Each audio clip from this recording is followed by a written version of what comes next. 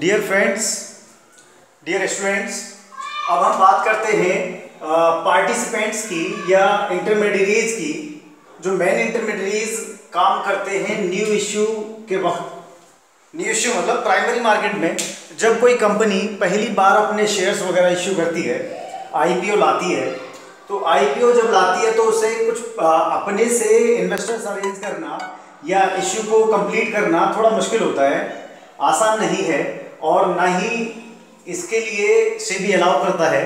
तो सेबी के जो रूल्स हैं रेगुलेशंस हैं, उनके मुताबिक इन्हें इस तरह के कुछ मेन पार्टिसिपेंट्स को अपॉइंट करना ही पड़ेगा।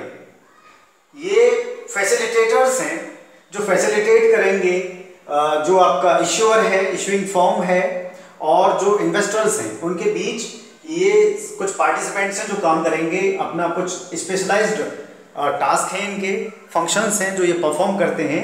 एक कमीशन के एवज में, एक चार्ज के एवज में। इन्हें एक चार्ज जो है इसके लिए चाहिए। जैसे मर्चेंट बैंकर सबसे पहले। मर्चेंट बैंकर या लीड मैनेजर कह दो, या manager to the issue manager to an issue ये इश्यू को पूरी तरह से मैनेज करेगा। एक मैनेजर के तौर पे सारी जो है मैनेजिंग एक्टिविटीज़ को ये संभालेगा। कि कब आपका इशू आना चाहिए क्या प्राइस आप इशू का रखें आ, कौन आपका एडवर्टाइजिंग एजेंसी हो या कौन आपका आ, बाकी बैंकर हो रजिस्ट्रार हो इस तरह के सारे मैनेजमेंट को आपका लीड मैनेजर देखेगा है ना? टाइमिंग वगैरह आपकी बाकी सारी बुक्स ऑफ़ जो इशू के लिए जो प्रोस्पेक्टस वगैरह डिज़ाइन ड्राफ्ट करना होगा ये सारे काम लीड मैनेजर के।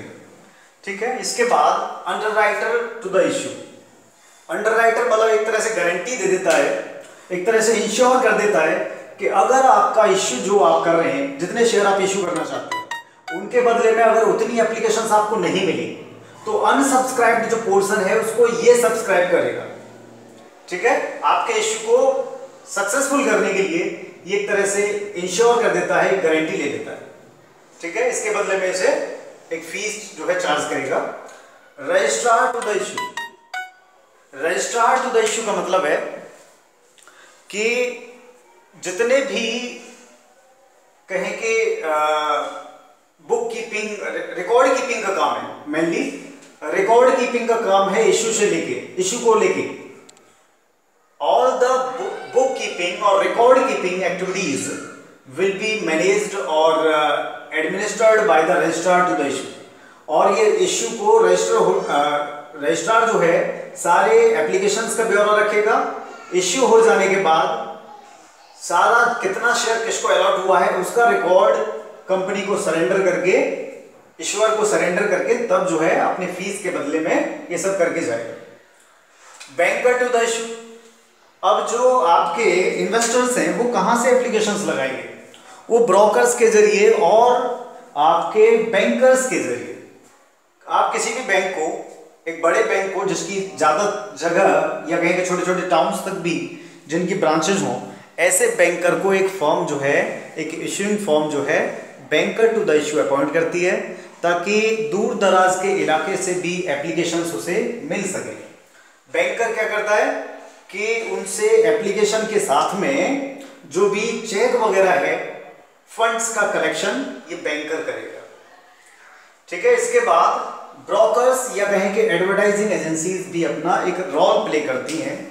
आपके इश्यू की मार्केटिंग का सारा ज़िम्मेदारी, ये ब्रोकर्स आप कई सारे ब्रोकर्स रख सकते हैं अपॉइंट कर सकते हैं इशू के लिए। ब्रोकर्स प्ले करते हैं एडवर्टाइजिंग एजेंसी आपकी आपकी मार्केटिंग की सारी ज़िम्मेदारी संभाल लेती है। ठीक है तो ये मेन पार्टिसिपेंट्स हैं।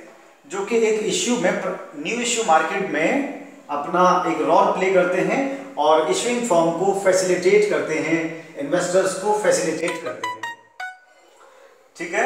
तो ये न्यू इश्यू मार्केट में आपका मर्चेंट बैंकर हो गया, जो सारा मैनेजमेंट देखेगा। कौन अंडर राइटर रहे, कौन रजिस्ट्रार रहे, कौन बैंकर रहे, कौन ब्रोकर मार्केटिंग एजेंसी रहे। ठीक है? अंडर राइटर एक तरह से इंश्योर कर देता है इंश्योर कर देता है आपको कि आपके जो इश्यू है उसको फेल नहीं होने देगा। रजिस्ट्रार सारा जो रिकॉर्ड कीपिंग का काम है इश्यू को लेके वो संभालेगा। बैंकर एप्लीकेशन प्लस फंड्स का कलेक्शन चेक्स का कलेक्शन बैंकर देखेगा ब्रोकर्स या advertising agencies will market your issue will make the investors aware about the issue ठीक है? तो ये आपके मेन पार्टिसिपेंट्स हैं जो न्यू इश्यू मार्केट में या कहें कि प्राइमरी मार्केट में अपना एक स्पेशल रोल प्ले करते हैं।